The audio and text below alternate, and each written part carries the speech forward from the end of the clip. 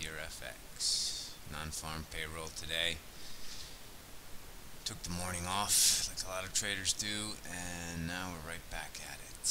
This is our best chart for the day, dollar CAD printed 65 today which matches up pretty close with the 128.63 low from four days ago.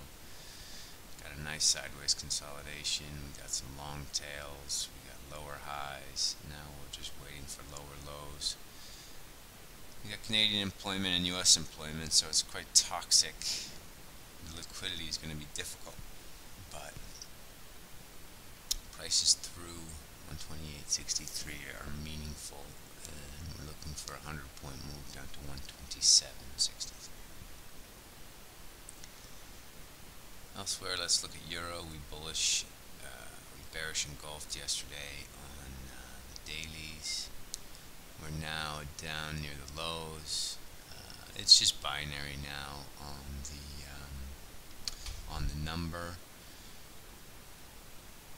If the number comes out strong, you buy dollars. If it comes out weak, you sell dollars. Um, and that's pretty much that's pretty much it. A lot of people are going to use dollar yen as a proxy. We've already broken up through 106.50, so what does this mean? It does mean there will be stops down below 106.40 if it's a weak one. Uh, if it's a strong one, I, am just really not sure what's happening in dollar yen. I've heard a lot of things about derivative contracts and big options at 107, so I'm just I'm not really sure.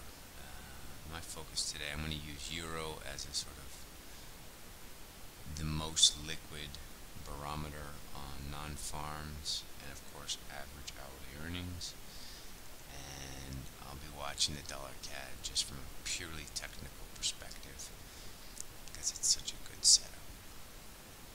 Not much else to say, it's one of these binary days. I just want to show you the 10 year yield 288 so right sort of in the middle of this sort of 295 280 range equities towards the highs, but I'm not really super believer in this. I, I feel like this is gonna this is gonna roll over up here somewhere, probably maybe 2760.